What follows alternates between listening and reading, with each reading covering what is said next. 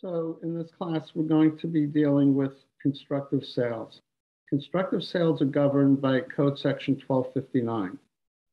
Um, what's really interesting about this code section is you, is you really see the interaction between Congress and taxpayers. Taxpayers entered into a transaction um, which gave them incredibly good results. Congress didn't like those results. They enacted Code Section 1259 and I was, and we'll go into greater detail, obviously, of what, what was going on. And after Code Section 1259 was enacted, taxpayers still wanted to reach similar results. Um, and we'll see what's happened after that. Um, new transactions have been developed.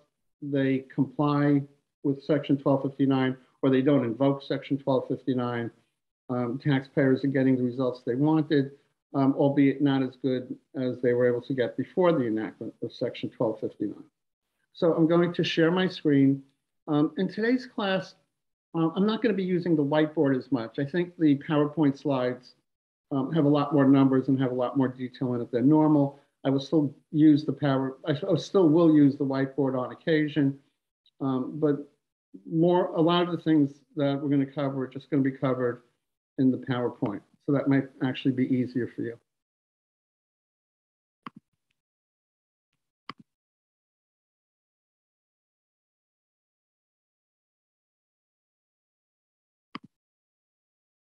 So we're going to deal with constructive sales. And that's what, so that's what this is all about. Code section 1259, constructive sales. Um, it's another one of these anti-abuse sections. Congress perceived the taxpayers were entering into abusive transactions. They enacted Section 1259 to stop these transactions from happening. And what have they done? They've created something called a constructive sale. Because it's constructive, that means that the sale never occurs for legal purposes. Um, the taxpayer owns property, they enter into a transaction that has an impact on their economic um, ownership, their economic interest in the property. It reduces their risk of loss. It eliminates their potential for gain. But legally, they haven't sold it. They're still the owner of that property. But for tax purposes, they're going to be treated as though they sold the property. Um, and to the extent there, there is any unrealized gain in that property, they're going to have to recognize the gain. So that's what 1259 is doing. It's going to create um, sales where no sales have actually occurred. So when did all this happen? This all happened in 1997. So prior to 1997, what, what was the facts? What happened that led Congress to put in this code section?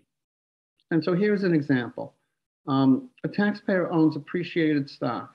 They own a million shares of IBM, zero basis, fair market value of $100 million. And the taxpayer would sell a million shares short. So remember when we did short sales? Um, we owned shares and we sold short substantially identical shares. That didn't trigger a taxable event. Those were treated as two separate um, events, two separate transactions. And we saw how when we closed the short sale, um, we would create long-term losses or we would create short-term gains. But when we entered into the short sale, it was never treated as actually selling the long stock. That's no longer true in a lot of circumstances. Um, so what happened when they sell the shares short? They have to post the $100 million as collateral to the lender of the stock. So if you remember um, in, our, in our short sale example, um, you know what? I will use the whiteboard.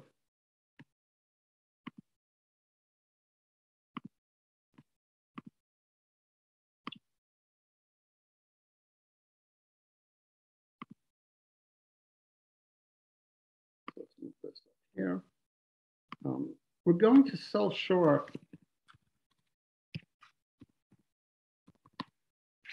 $100 million of IBM stock.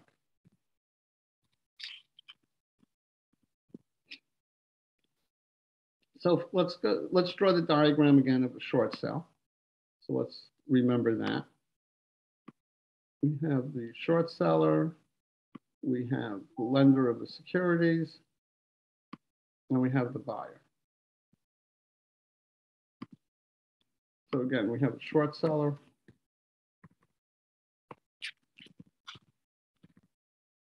We have the lender.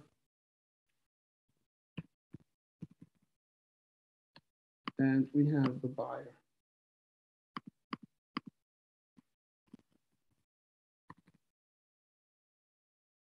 And then let's just, again, go with the, with all the flows. So what's going to happen is there's going, to be cash going this way. There's going to be stock going this way. There's going to be cash going this way and stock going up here. Let me put on all the labels. So we have stock.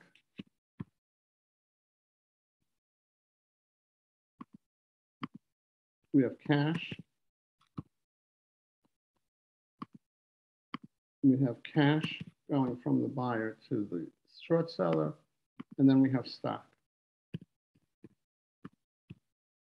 So the stock starts with the lender, goes up to the short seller, gets transferred to the buyer. The buyer takes the $100 million, gives it to the short seller, and the short seller gives cash to the lender. And that was our normal short sale.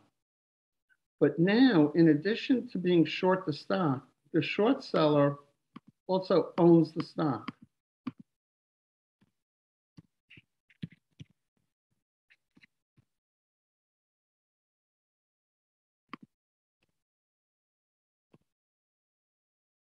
So if the short seller is short a, million share, a hundred million dollars worth of stock, and they also own a hundred million dollars worth of stock, they have no risk of loss with respect to that stock.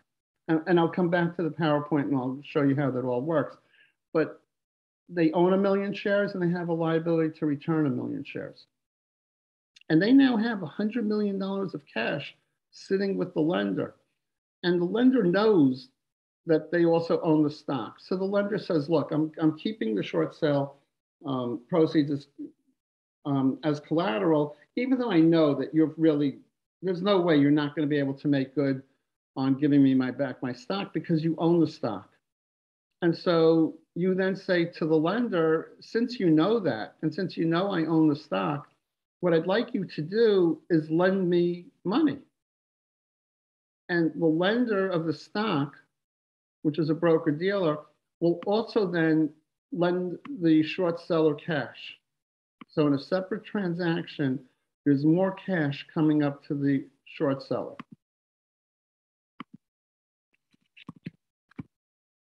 And it's actually equal to 95% of the value of the stock.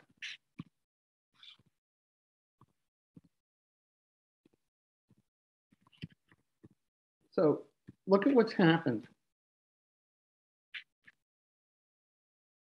The short seller has stock, and let's assume that we have zero basis. We have $100 million of value.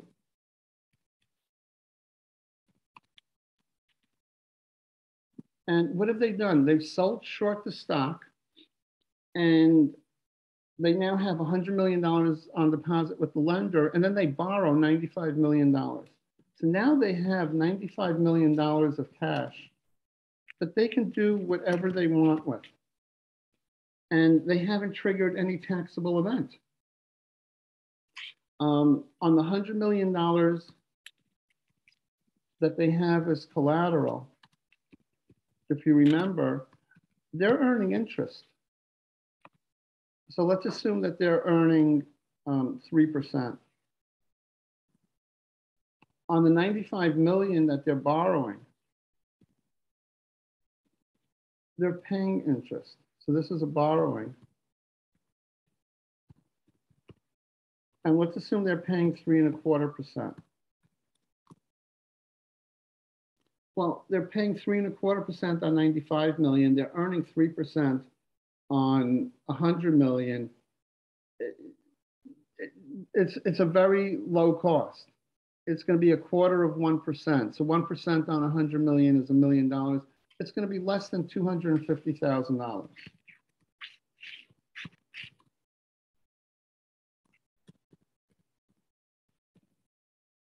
And so they're going to pay $250,000 a year next and be able to have 95 million in cash and not pay the tax.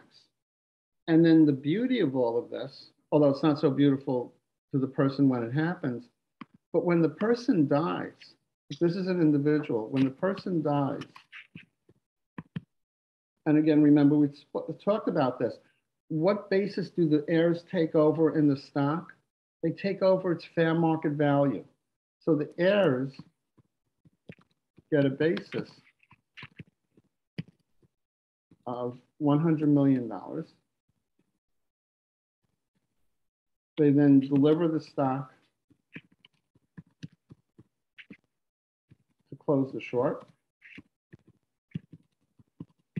What was the amount realized on the short? $100 million. What's their basis in the stock? $100 million. Zero gain on closing.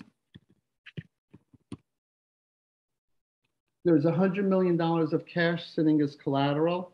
There's a borrowing of $95 million. The cash collateral goes to pay off the debt. They free up the, the last $5 million of cash.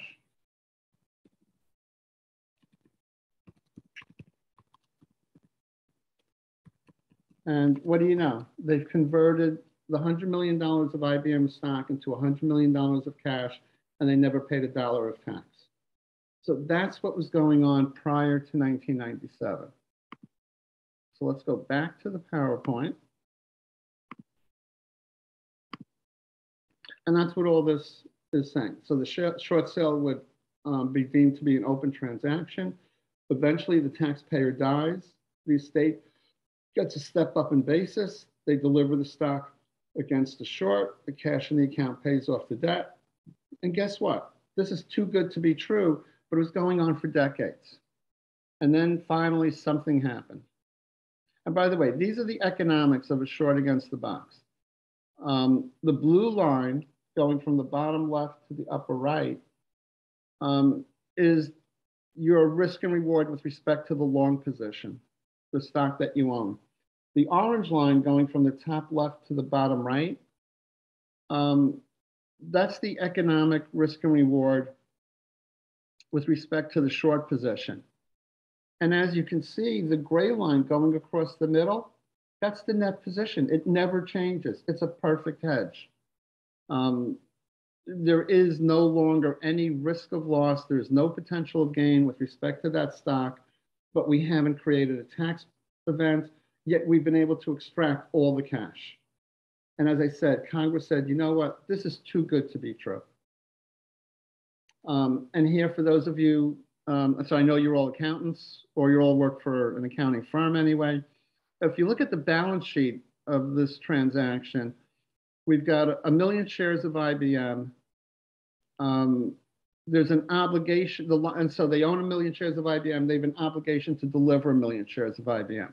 Doesn't matter what the value of IBM is because their ownership is in shares, their liability is denominated in shares. The two of those completely offset. They have short sale proceeds of $100 million.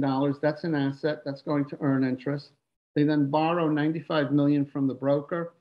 Um, and then they take that 95 million and they diversify. They buy a, a, new portfolio or they do whatever they want to do with that money.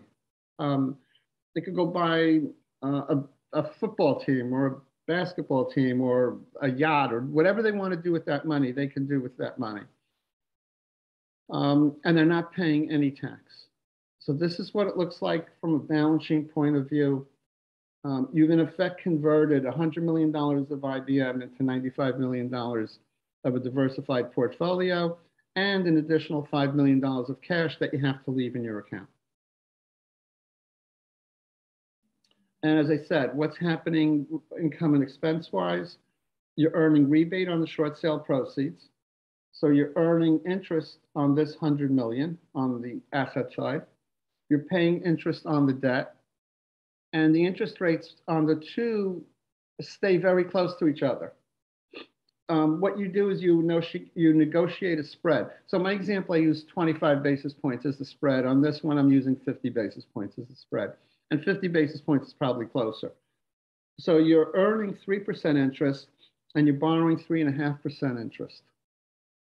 Um, on a pre-tax basis, that comes out to about $325,000 using a 37% tax rate because it's deductible. Um, you end up with $204,750 in after-tax expense. And what's your benefit? Um, assuming um, you, you're, you're going to save over $23 million in taxes. Um, if we take the 20% tax rate plus the um, tax on that investment income. Um, and the saving is permanent when the person dies. So for $204,000 a year, you're saving 23 million in tax. Um, you then have the money to spend. So if you can earn $204,000 um, or 300, or on a pre-tax basis, if you could earn $325,000 on 23 million, this is worth doing. Um, so, you know, it's a fraction of what you have to, of what you would have to earn.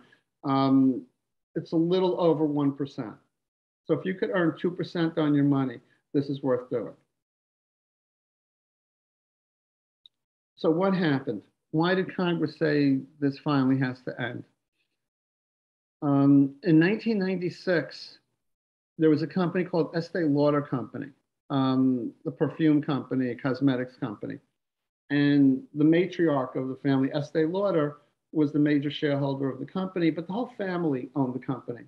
And they decided to go public. So they went through an, an IPO, an initial public offering. And when and the Lauders decided they wanted to get out of their stock. And they thought this was great because when they start selling the stock to the public, this gives them a chance to get to actually put their stock in the hands of the public and they're able to get out. Except if they all got out, they all had zero basis stock, they were all going to have to pay a tax on the gain. So what did they do? They all lent each other their stock.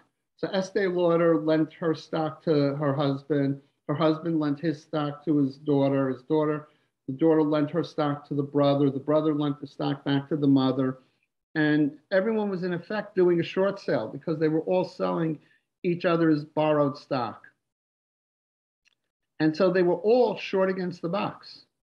Um, they all technically still owned their stock and they were just selling shares that they didn't own. Um, and so they were all short against the box. Now, no physical stock remained with them. That's what's crazy about all this. But technically, they still uh, own their stock in a, in a very formalistic way.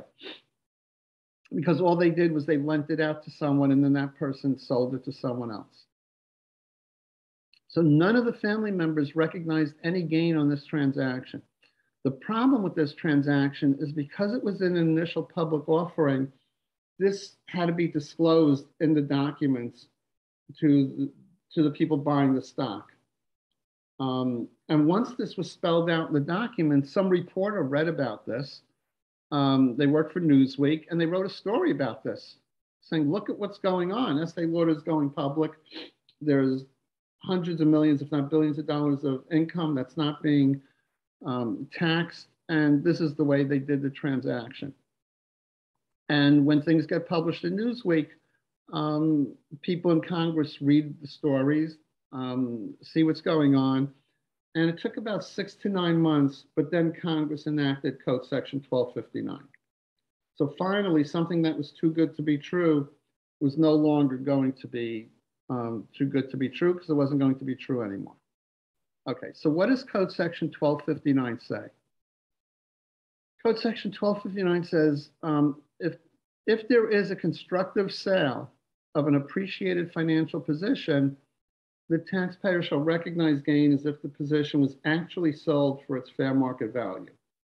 So the first bullet is telling us if there's something called a constructive sale, and constructive sales only apply to appreciated financial position, then we're going to treat it as though you really sold it. And um, if there's gain, you have to recognize the gain. Um, the second bullet is proper adjustment shall be made in the amount of any gain or loss subsequently realized with respect to such position uh, by reason of constructive sale. So what does that mean in English?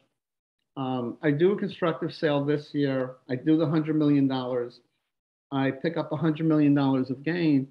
Well, I still own the stock, and they're not telling me to adjust my basis. So next year, I close out the short position and then I sell my stock, and I sell my stock for $80 million. Well, if I didn't um, adjust my basis, when I sell my stock for $80 million, I now have an $80 million um, gain. But because I've already recognized $100 million in a prior year, um, I'll, I'll, actually have a $20 million loss. So I'll, I'll do that on the whiteboard because whenever I do numbers, I like doing them on the whiteboard.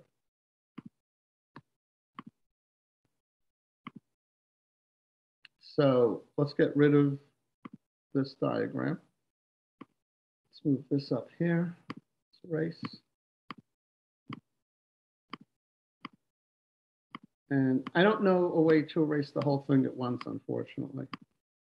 So you have to bear with me.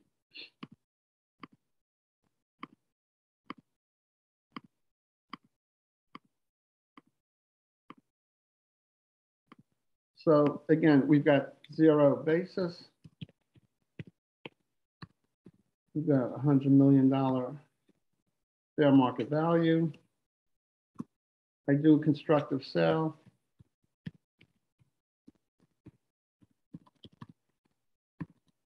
And I recognize 100 million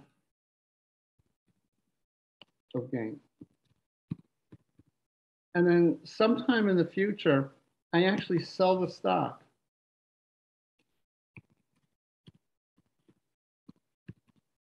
Um, for $80 million.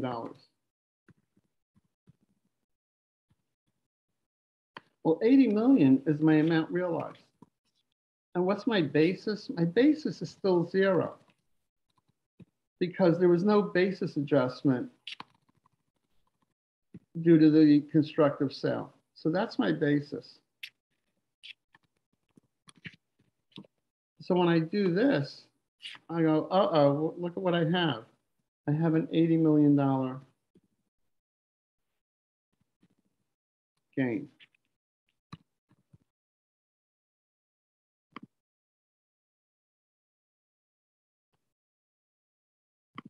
However, I already recognized $100 million in, a, in the prior year. So I get to subtract that because I don't have to pay tax twice. So that's the prior gain.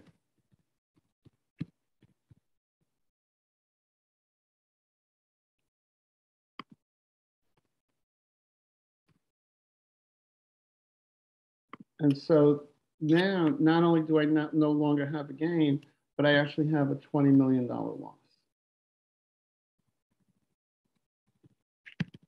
Right? And that makes sense because economically, when everything is all said and done, I had $80 million of gain. I recognized $100 million of gain in year one. And now when I get rid of it, I should have a $20 million loss. And that nets out to $80 million of gain. The problem is this loss is going to be a capital loss.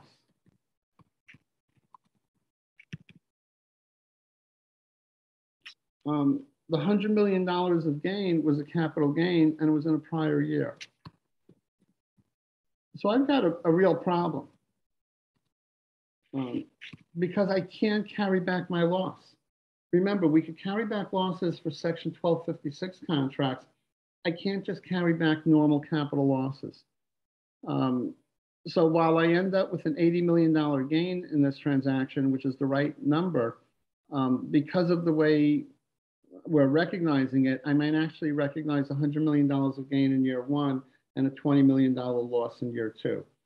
Um, and if I can't carry back that loss, that's a problem. So if you're going to do a constructive sale, just get rid of the stock. Just don't do constructive sales if you can avoid them. Okay, so let's go back to the PowerPoint. Um, if I do enter into a constructive sale, remember, I've never disposed of the property. I still have the property. Since I still have the property, I've got to say, okay, what is my holding period in that property? And the holding period starts all over again. So I've held my IBM stock. I held it for 20 years. I do a constructive sale. I now continue to be long and short the IBM. My holding period starts anew. But remember, because of um, the straddle rules, because of the short sale rules, I'm never going to get holding period in that stock as long as um, I keep the short position open. Now, they couldn't make the rules retroactive so that if you did a constructive sale, if you did a short against the box prior to the time this law was enacted, that's it. You got away with it. You didn't have to pay tax on the gain. But what they did do is they said, by the way, if you entered into one of these short against the box positions prior to the date of enactment, we're no longer going to allow a step up in basis when you die.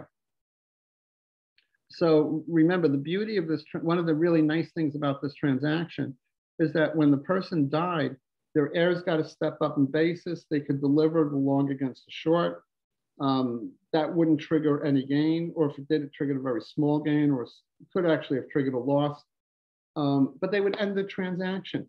This transaction now goes on forever and ever, which the brokers love, because remember, the brokers are making that 50 basis points on the position. As long as the position stays open, they keep making 50 basis points. Um, someone dies now, and now the heirs have to keep the position open because they don't want to pay the tax. Since they're not getting a step up in basis, the basis remains at zero. The short sale proceeds all, are always 100 million. They're going to trigger 100 million dollars of gain if they ever close the position. So now the heirs will keep the position open. So this actually ended up being a bonanza for the brokerage firms that are holding these positions open for their clients. Okay, so, so now we know that there's a constructive sale if you have an appreciated financial position. So the first thing we're going to do is what is an appreciated financial position? And an appreciated financial position is a position with respect to stock, debt, or a partnership interest. Um, and so if you have your own shares of stock, you own debt, you own a partnership interest, if there would have been gain on a sale or disposition of that position, then if you enter into a constructive sale, we're going to trigger the gain. And we haven't gotten into the transactions yet that lead to a constructive um, sale, and I will do that. Um, and a position also means an interest, including but not limited to a futures, a forward contract, a short sale, an option. So an option on stock, an option on debt, an option on a partnership interest, short sales, if they've appreciated in value, um, are also treated as appreciated financial position. Something that's missing from here is cryptocurrency. What do you know? Um, if I own Bitcoin and Bitcoin has gone up in value, I can enter into a short sale of the Bitcoin and Section 1259 doesn't apply. Um, there is no constructive sale. I haven't sold the Bitcoin. I don't have to recognize the gain, and I should be able to pull out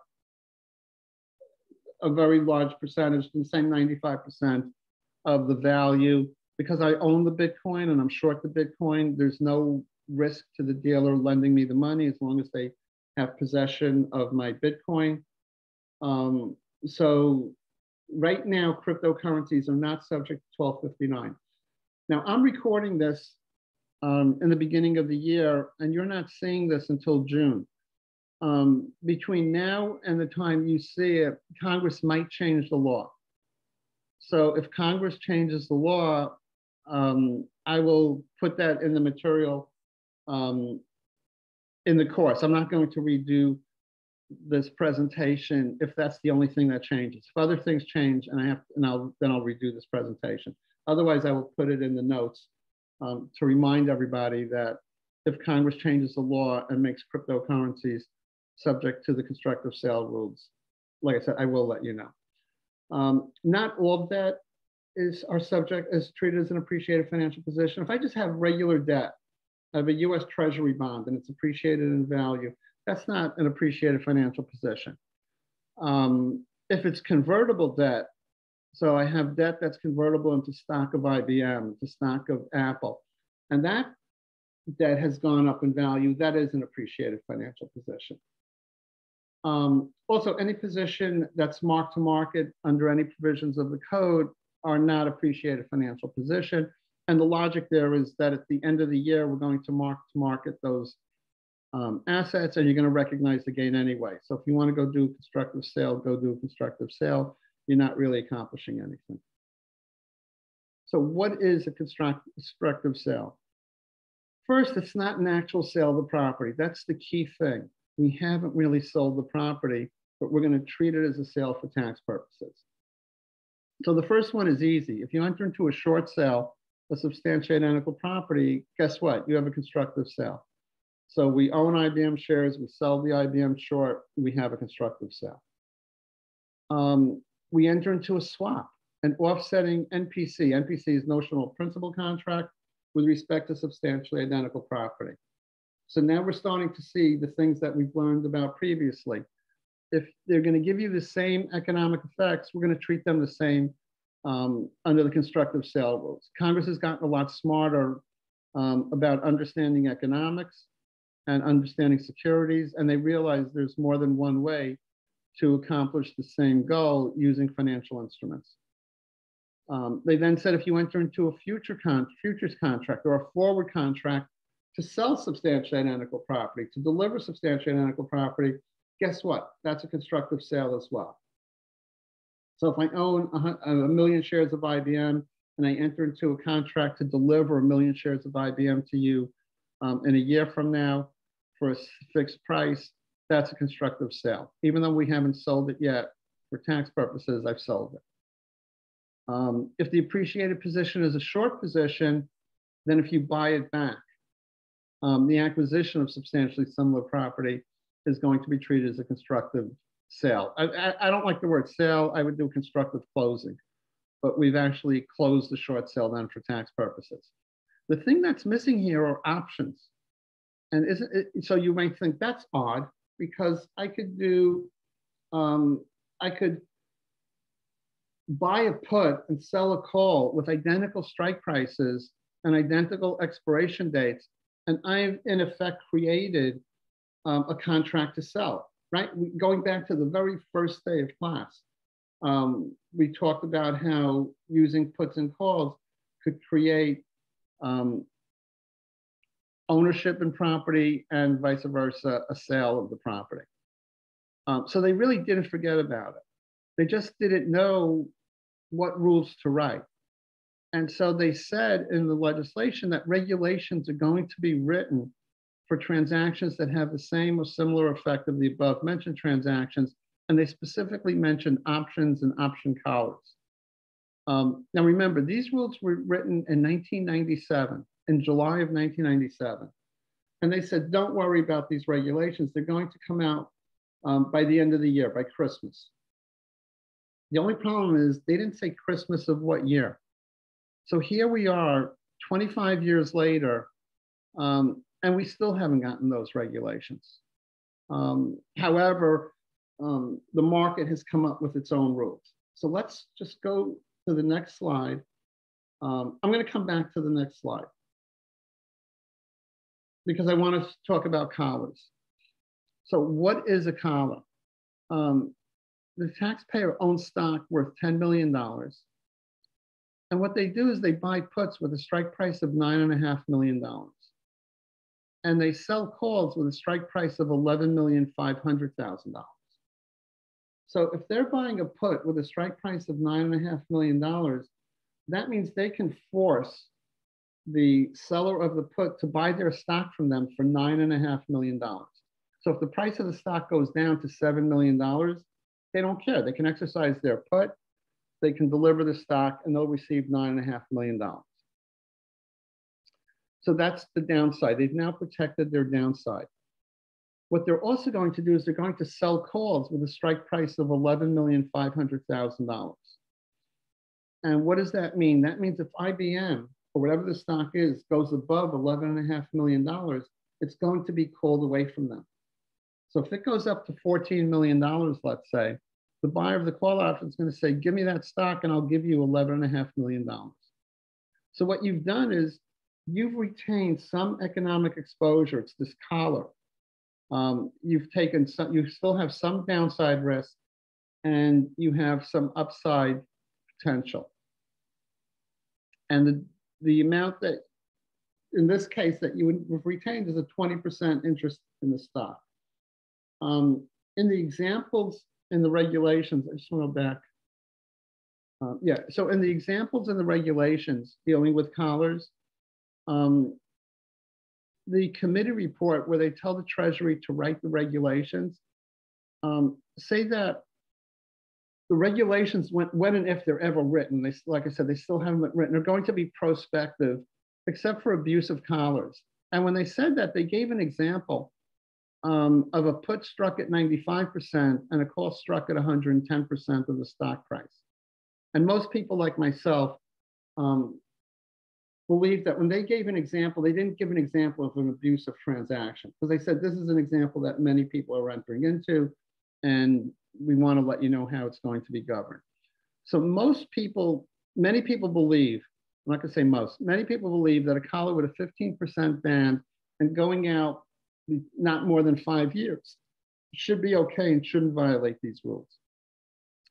The New York State Bar Association, which is very highly respected in the United States, they write comments to the Treasury and to Congress about legislation that's either been passed or proposed. Um, and they don't always take a pro taxpayer point of view. And so they're given a lot of weight. And they submitted a proposal saying, look, you're not writing regulations. We don't know what to do with this. So we propose that if you will, you should always allow a 20% ban. Again, if it's as long as it's not more than five years.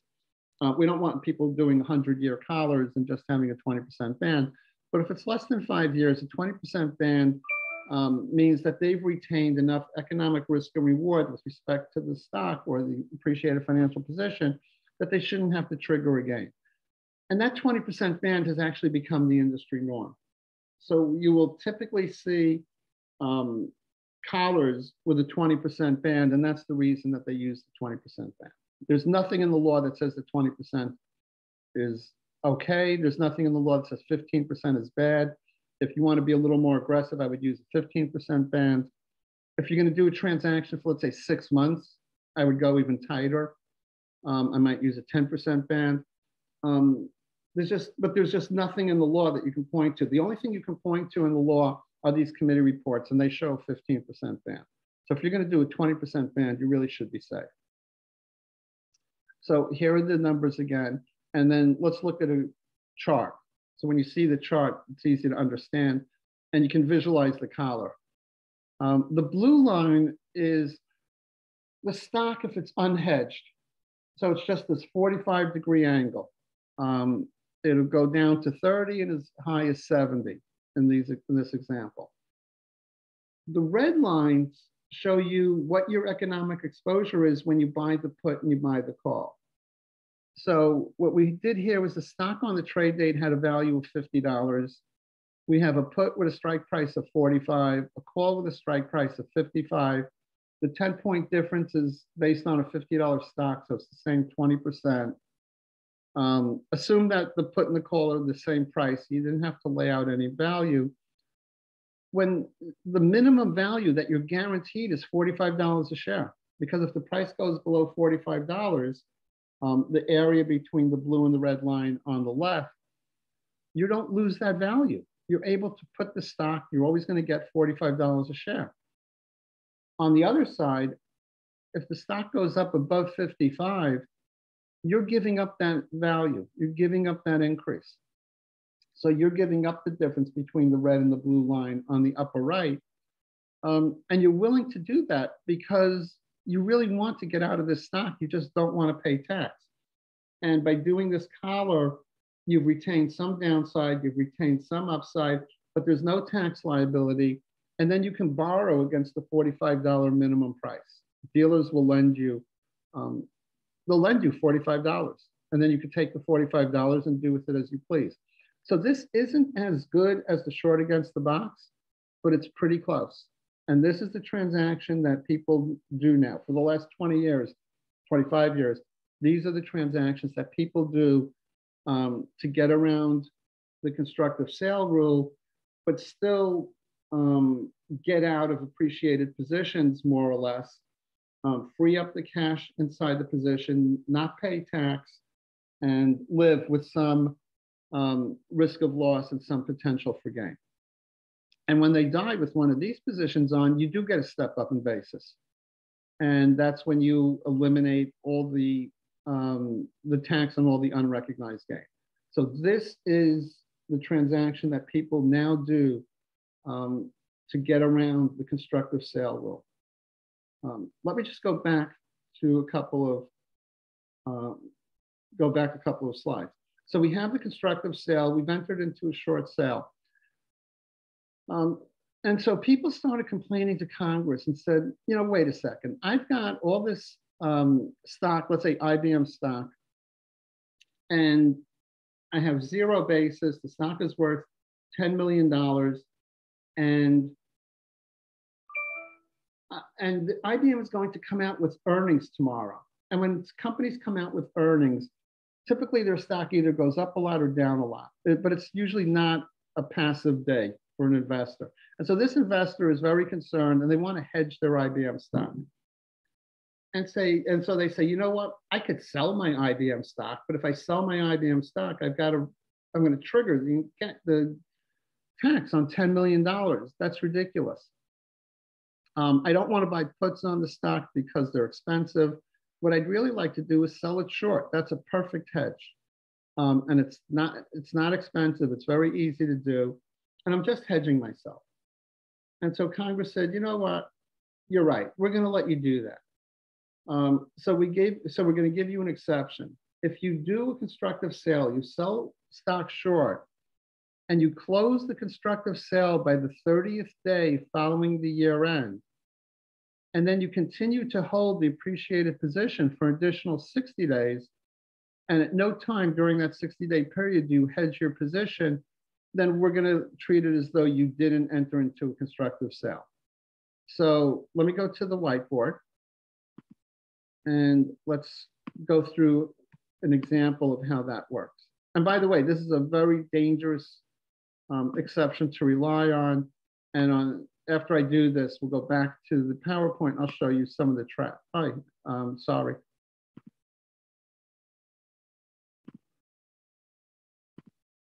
When I want to erase, I sometimes hit stop share. So I apologize for that. Let's make this bigger. Okay, so again, we have our stock we have our zero basis. We have our 100 million fair market value. And I want to hedge myself, so I sell short 100 million. And we do it on June 15th. I can buy back the short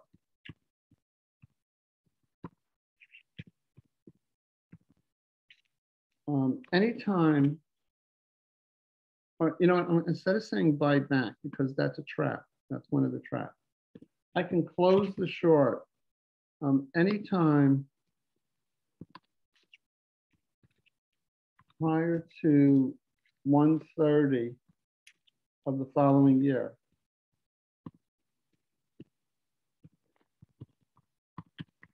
And then remain unhedged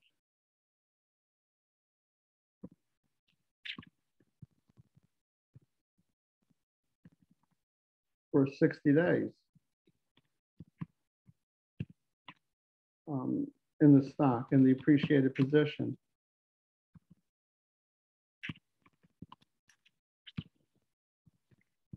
And I will meet the exception.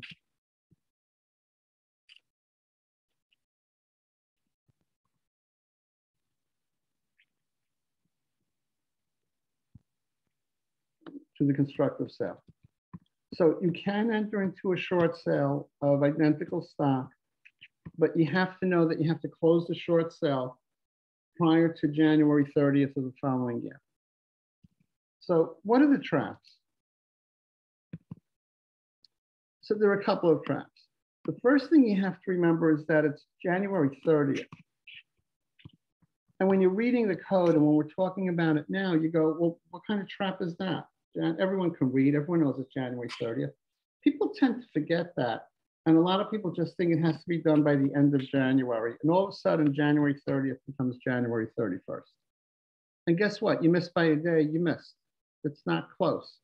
Um, it's like if it's like if you're being pregnant, either you're pregnant or you're not pregnant. Either you did it by January 30th or you didn't. The other thing is you have to close the short sale. So if you remember, how do you close a short sale? You close a short sale by making delivery.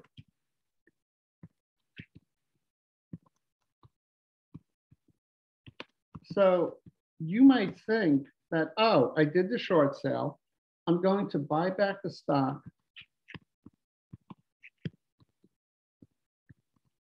on January 31st.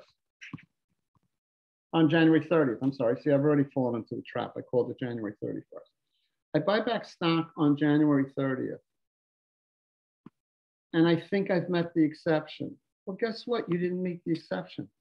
Remember, when you buy stock, when does the stock, when does it settle? It settles in two business days. So if I buy it on January 30th, the earliest I can get the stock is February 1st. So I can deliver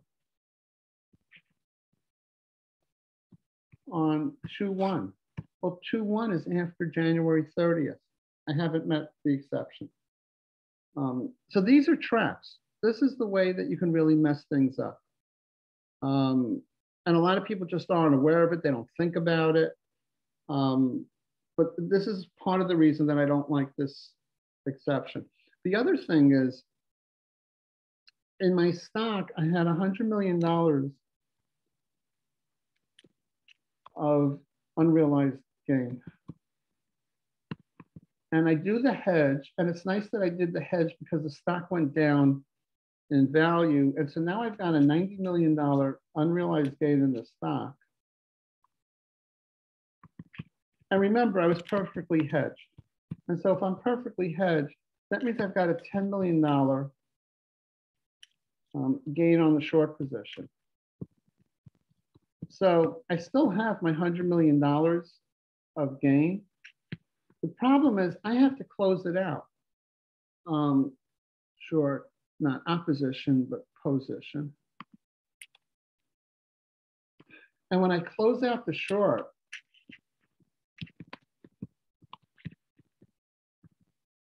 I have to recognize the gain. So not only am I recognizing the $10 million gain, but the gain is all short-term gain because it's on a short sale. So I'm actually converting the long-term gain into short-term gain every time I have to close out the position um, to meet the exception. And then the final thing is, um, what happens if I die?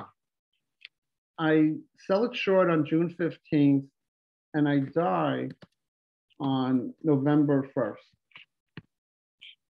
Well, my tax year ends on November 1st. On November 1st, did I meet the exception? And the answer is no. I sold it short on June 15th. My tax year ends November 1st no one cares what I do between November 1st and January 30th. It doesn't affect me anymore, which means I now have a constructive sale.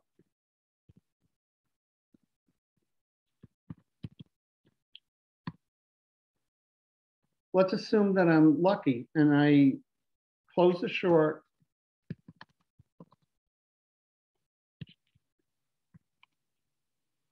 on 130 or to be safe on 125.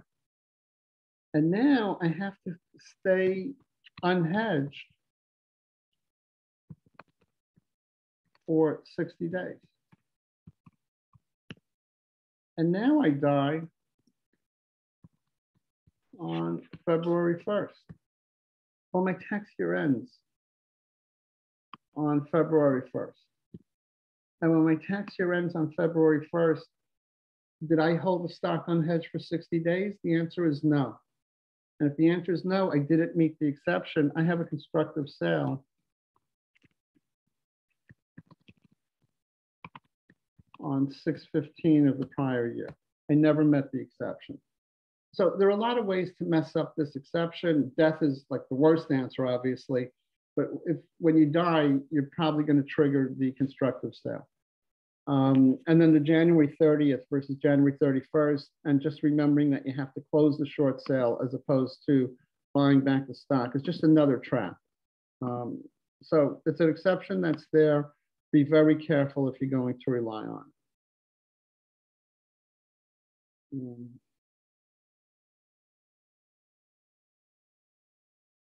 Okay, so the first tool that we're going to use to get around the constructive sale rules are collars made up of puts and calls. Another thing that Wall Street has come up with is something called a prepaid variable forward contract. So what you do is you enter into a forward contract to deliver the share to deliver shares, but the number of shares varies with the price of the stock. And they basically put the terms of the puts and the call into this forward contract. So what they say is if the stock goes below 95% of its original value, the investor delivers all of their stock. So the investor retains 5% of the downside. Um, and then below that, there's no more downside that the investor is retaining because they're just going to deliver the stock and they're going to get 95% of the value. If the stock goes over 115% of its original value, um, the taxpayer delivers a number of shares that allows it to retain 15%. So it's going to keep the 15% increase, it's going to deliver the rest. And it's a prepaid variable forward contract, which means on the day that the taxpayer enters into the contract, they get money up front, and that money is non taxable. Um, so they're going to get the 95%, um, and then it's going to be discounted for interest because you're getting the money up front. You're not delivering the stock for, let's say, three years. Let's say we do this forward contract and it's in three years that you're going to deliver the stock. Then you've in effect borrowed the money for three years and they're going to charge you interest on that. Um, the economics are exactly the same as the economics of entering into a collar. And you would have entered into a collar and borrowed against the put strike price. That's what this is doing. Um, it's the same exact economics. Um, finally, we could do an equity swap, right? Um, we do a swap. I now am going to pay you the increase in the value of the stock to, to the extent that exceeds uh, 115%. So if the stock was worth 100 million, if the value of the stock goes above 115 million, I'll pay you that excess. And so I get to keep the first 15 million. If the stock goes below 95 million, um, you're going to pay me that amount. And so I'm protected below 95 million. It's the same exact um, economics as the collar and the prepaid variable forward. You can then borrow against the equity in the swap position from the dealer that you've entered into the swap with. Um, and you have the same protection as you do as if you had done this with um, options or with forward contracts. So now the question is, if we enter into one of these transactions, how are these transactions taxed? Right? So the options, as we know, are capital assets. We've entered into this transaction to diminish our risk of loss. That's the whole purpose of doing this. So by doing that, the stra a straddle is created. Um, what happens when a straddle is created? We're never going to get holding period in the put that we bought. Um, and also, if we borrow money against the position, the interest capitalization rules apply. And so we're going to have to capitalize our interest. This is where you want to make an identified straddle election um, because if you don't, if you've hedged only a portion of your position, you can identify your straddle, say that on the shares that I borrowed against, that's a straddle. I, I, haven't borrowed against those shares. Um, those shares are my straddle. And on the other side, I have remaining shares, and those are the shares I'm borrowing against. And so those shares I should get an interest expense deduction. Um, if you don't have other shares, what you would do is you would borrow some money against this position and then take that money, put it into an account, and use that money to buy new shares and borrow the additional amount with those with that money. Um, so let me give you an example of that.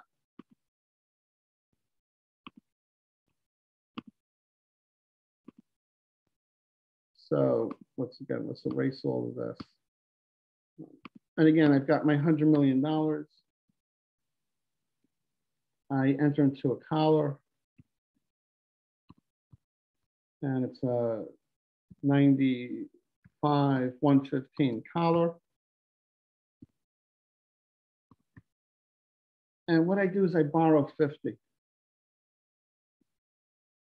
I borrow 50 million.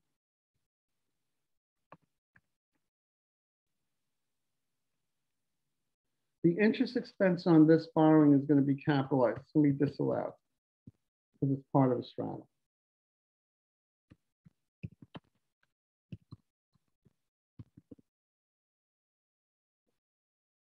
But I now take the 50 million in cash and I can buy 100 million worth of new stock. So I can borrow an additional 50 million on the new position. And the interest expense on that additional borrowing is deductible. Because that has nothing to do with the straddle. So you can make the best of a bad situation. So the interest on this will be deductible.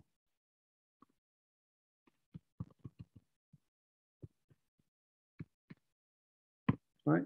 So this is this is something that can be done. This is what's good about using an options-based collar, because you can at least deduct some of the interest expense at the very least. So let's go back to the PowerPoint.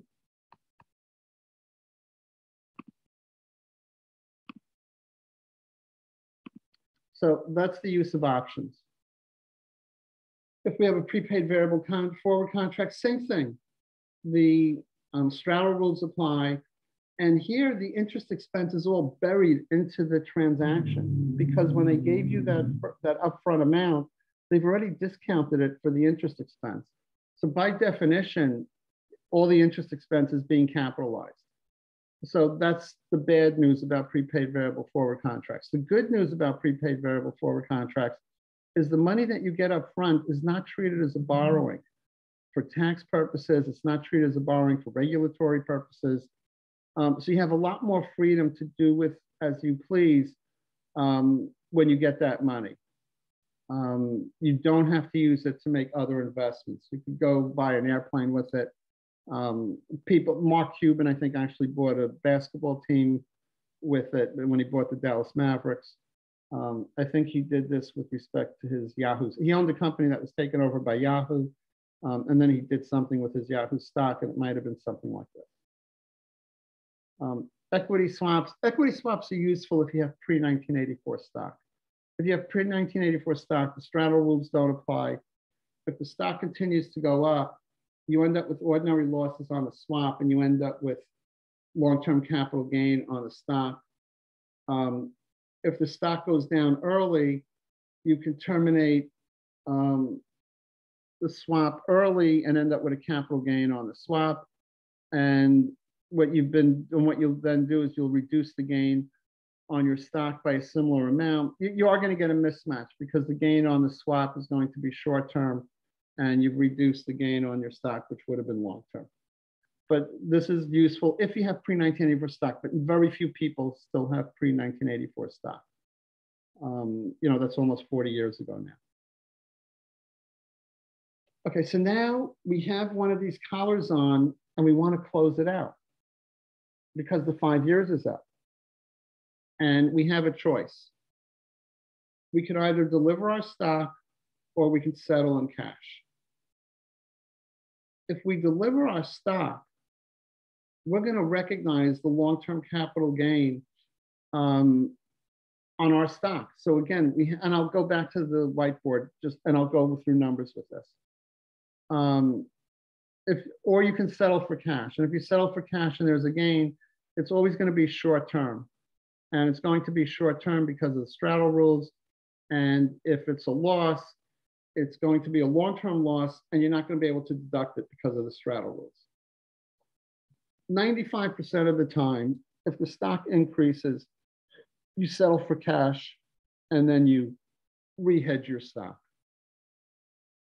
It's very rare that you would deliver your stock when the stock increases in value. When the stock decreases in value, now you've got to do a computation. Now it's not that simple.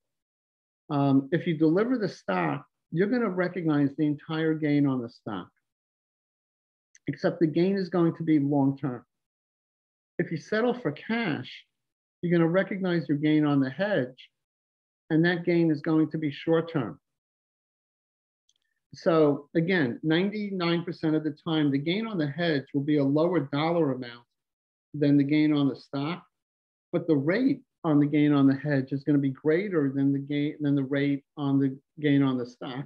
So you have to do a computation. So let's go through some examples.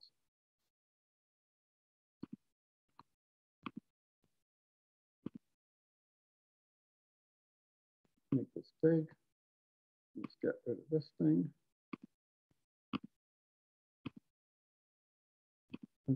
So again, we have our $100 million stock. I buy a put, strike price.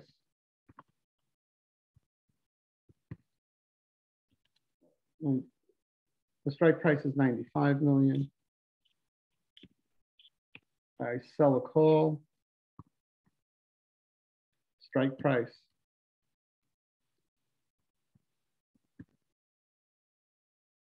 of 115 million.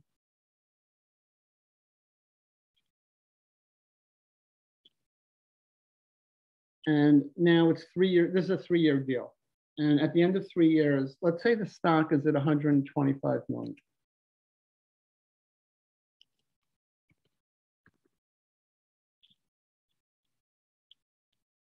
The call is going to be exercised at 115 million. I could deliver my stock.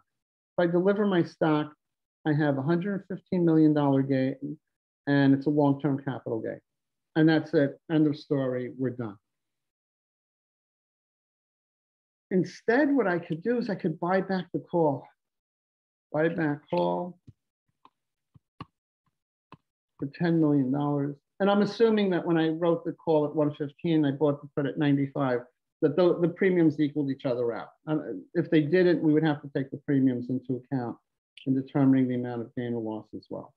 But if I buy back the call for $10 million, that's going to be a loss. It's going to be a long-term capital loss.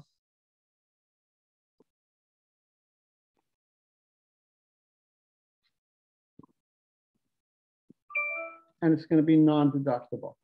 And it's going to be non-deductible because I have a straddle and I'm going to have um, 125, $125 million of unrealized gain on my stock.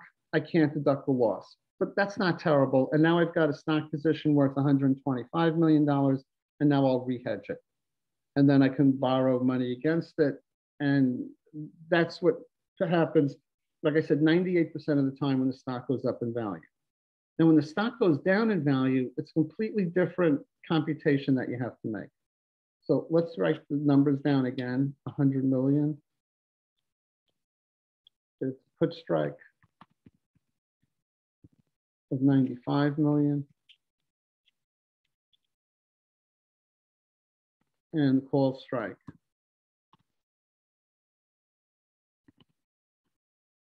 is 115 million. And we'll do two examples. Let's assume that the stock goes down to 90 million. Well, I could exercise my put. If I exercise my put, so exercise put, um, I trigger 95 million of gain. But it's all long-term gain. And at a 20% tax rate, I'm going to pay 19 million in taxes.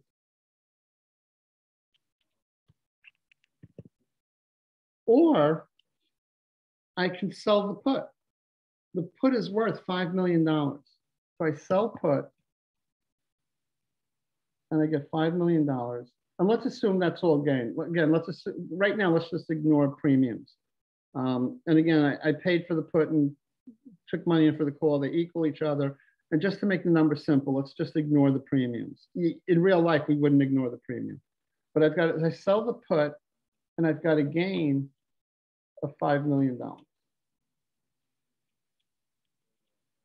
Now, the difference is my tax rate here is 37%, and I'm going to pay $1,850,000 in taxes. So in this example, I think it's simple. You just say, look, we're going to sell the put.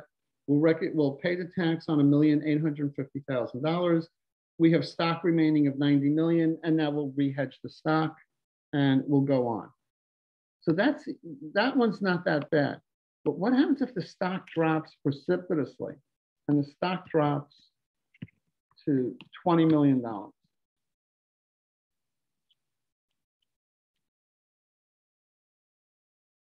Um, if the stock drops to $20 million, so I'm pulling out a calculator. So I'm going to have to do some um, math that I can't do in my head.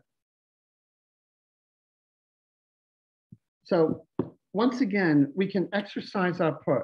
If we exercise the put, um, we're going to sell our stock for 95 million.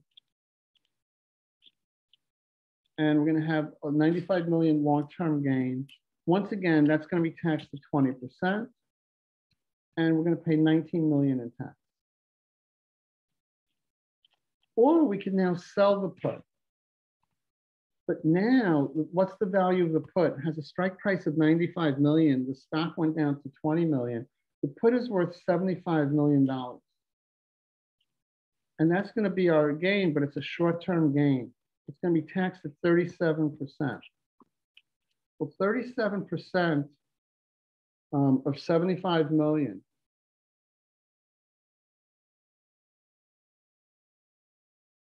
is 27 million $750,000.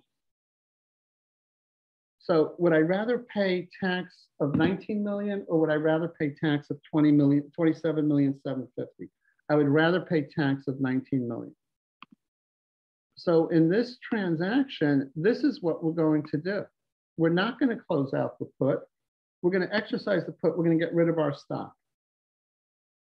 So there's going to be a break even point um, where you're not going to want to sell the put, you're going to want to exercise the put. Um, and you're going to have to make that determination because it's not just where the lines cross over. Because remember, when you sell the put, you're still going to have remaining stock left over, and you're going to have to do something with that stock. And if you then have to hedge that, you're you're incurring additional costs. You may not want to do it. But this is the kind of analysis you have to do when the stock goes way down and your collar is coming due or your prepaid forward contract's coming due, your hedge is coming due, you've got to do something. This is the analysis that you have to do. It's not that simple or it's not that difficult, but you have to know that those are your choices. So you have to know what the rules are. Um, you're going to have short-term gain on closing out the hedge. You're going to have long-term gain when you deliver the stock. Right, so let's go back to the PowerPoint.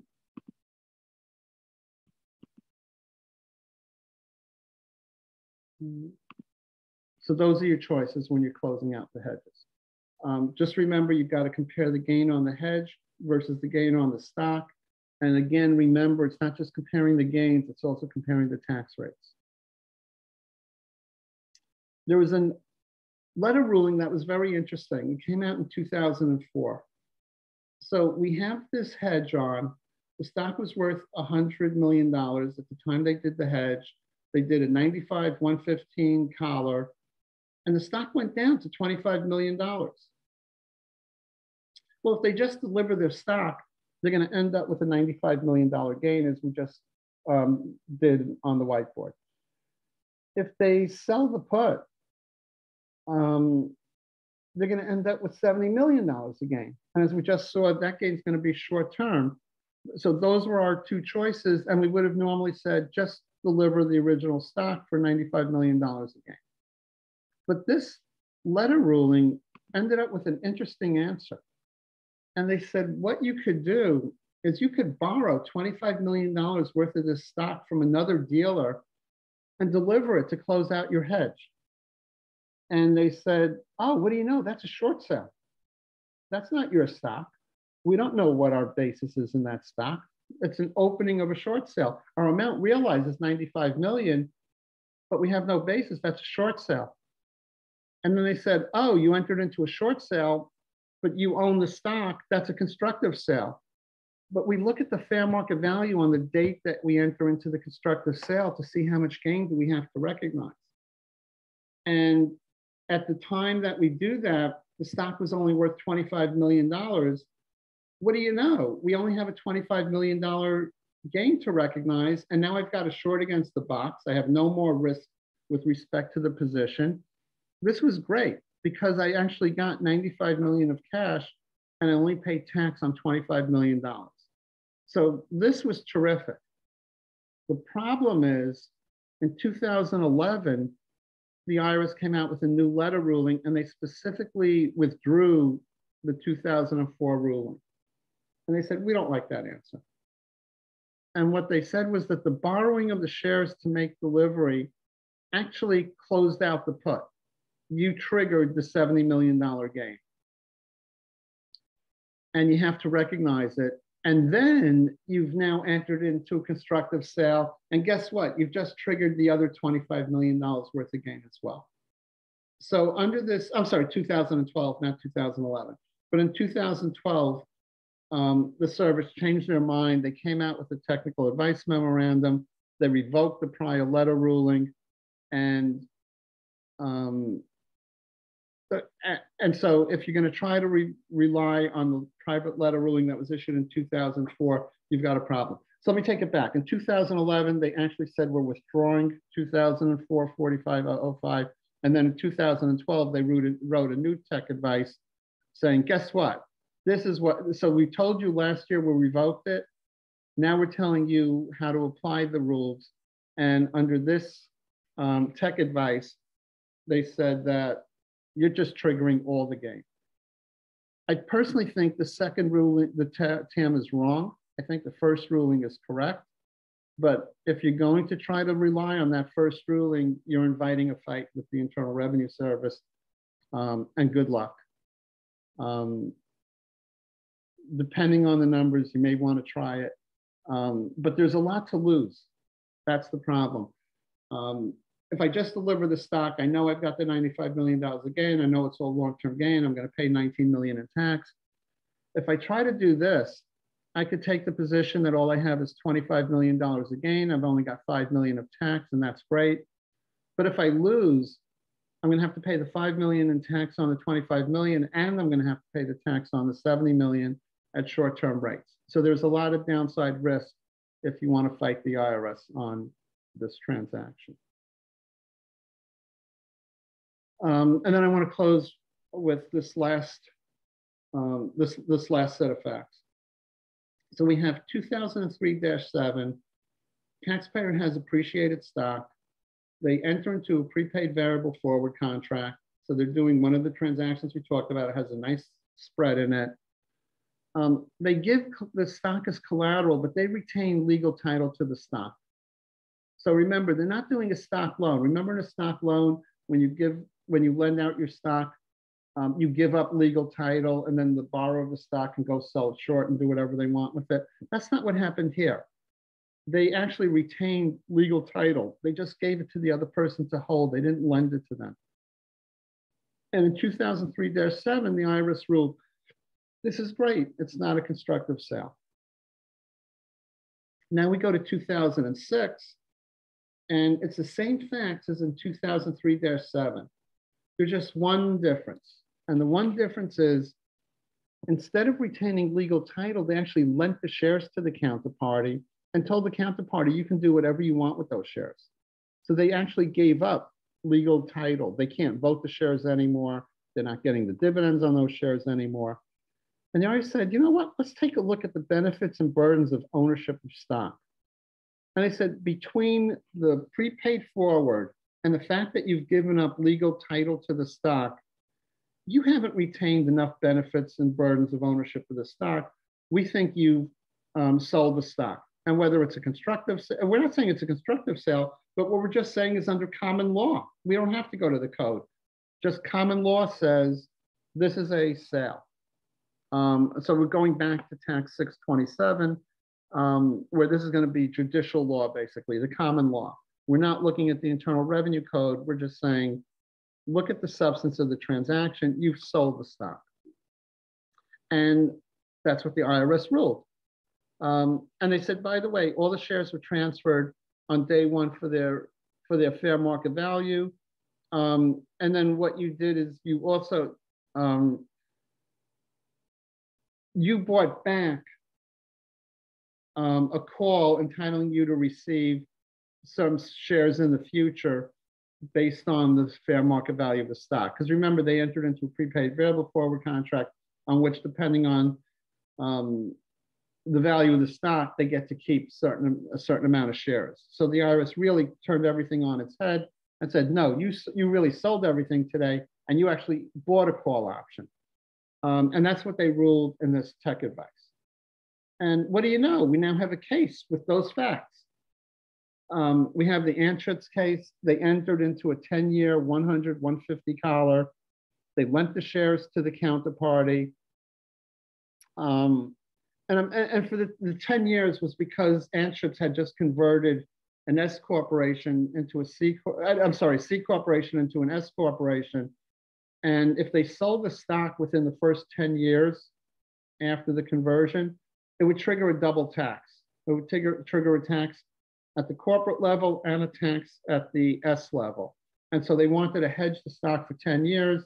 And then after 10 years, they would get rid of it or do something with it.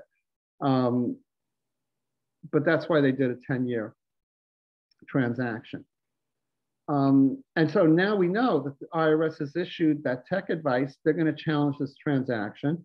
Anschutz is going to say that tech advice is wrong. The 2003 ruling should apply. And they go to court. And guess what? The tax court holds against Anschutz. And why did they hold against Anschutz? They said, Mr. Anschutz, your 100, 150 collar over a 10 year period is fine under Section 1259 you did not violate the constructive sale rules. However, there's more, there are more code sections um, in, the, in the Internal Revenue Code than just 1259.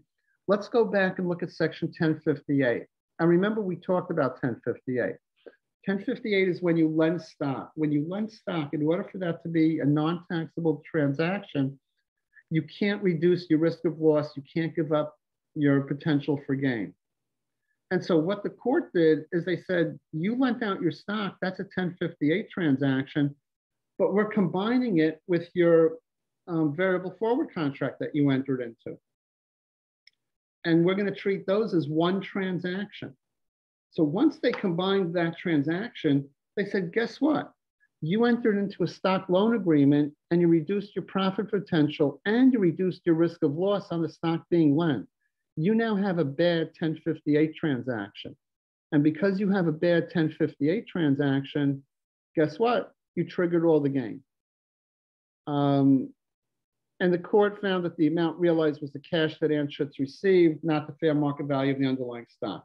So if it was a 90, if it was a 100, 150 collar, they might have received, let's say 90%. They might have received 90 million out of 100 million the court said, we're not taking the IRS's crazy approach that you really sold for everything and then bought a call. We're just going to come up with the normal result that the cash you receive is the amount of gain, is the amount, is your amount realized. Compare that with your basis, and that's your gain. But the lesson that everyone's learned from Anschutz is that whenever a dealer enters into um, a collar, um, they're never going to borrow the taxpayer's stock and again, remember, so let's do one last, yeah, this is the last slide. So let's go back to the whiteboard one last time. Because this is where you really have to understand the transaction. You, not only do you have to understand what your client's doing, but you have to understand what the other side is doing. And, I'll, and this will also help explain why Anschutz lent out their stock to the dealer. Uh, they really weren't trying to do anything from a tax viewpoint. But um, so I'm Anschutz. And I own the stock. And I enter into a hedging transaction. Well, if I enter into a hedging transaction, that transaction has the economics of a short sale.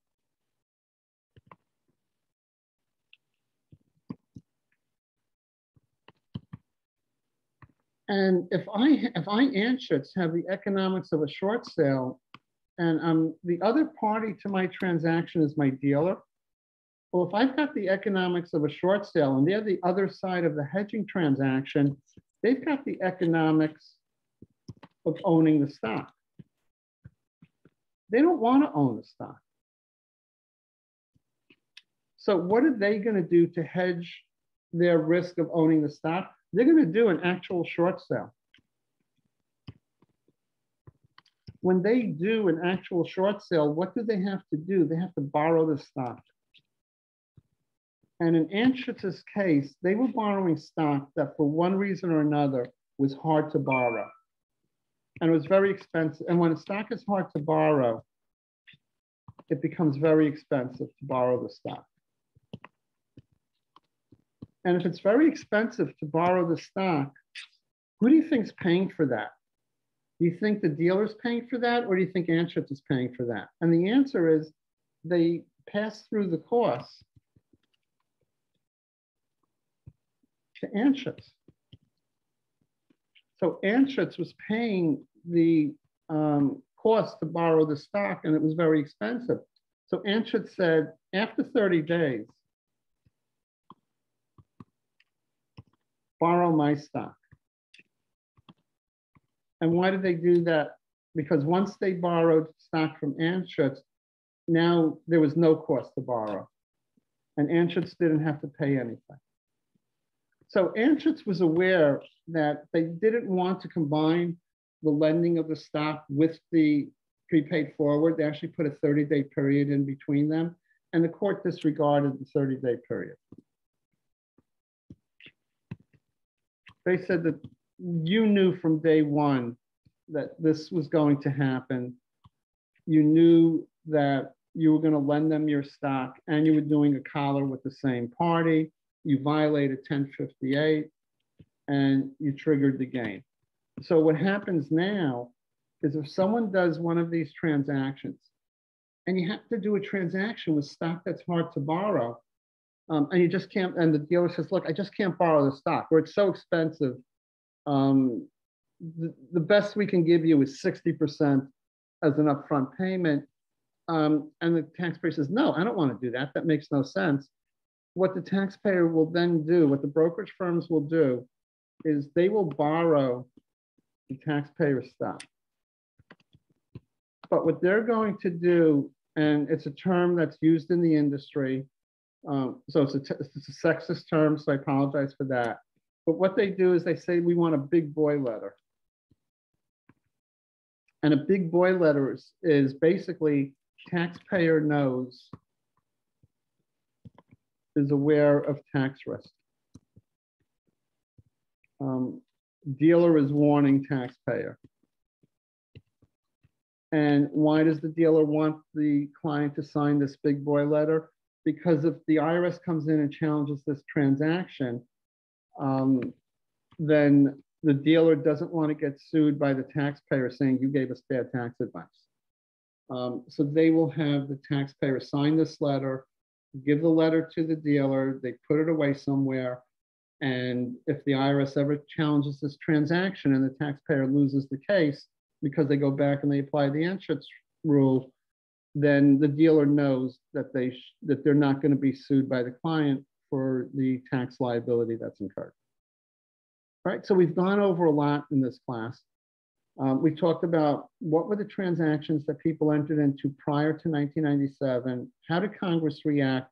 They reacted by passing Code Section 1259, um, putting in these constructive sale rules, then taxpayers said, but wait a second, or investors said, wait a second, I still want to hedge my stock. I still want to get out of it. Um, I still want to get most of the money and go into a new investment, and I don't want to trigger the tax. How do I do that? And the way we do that now is we use collars. Um, and we can either use options, we can use, or, or we can use prepaid forward contracts. uh, almost nobody uses equity swaps. And remember, equity swaps are death um, until 2026, because if you have a loss on your equity swap, that loss is non-deductible. So you can really forget about swaps. Um, the two ways that you're going to hedge your stock are going to be with an options-based collar or a prepaid variable forward contract. Right, so that's it on section 1259 and constructive sales. And the next topic that we're going to cover is going to be constructive ownership. Um, and that's going to be the flip side of this. Um, it's a different kind of anti-abuse section. Um, and that will be the next thing that we will be covering. Um, and that'll be the next class. So that's it.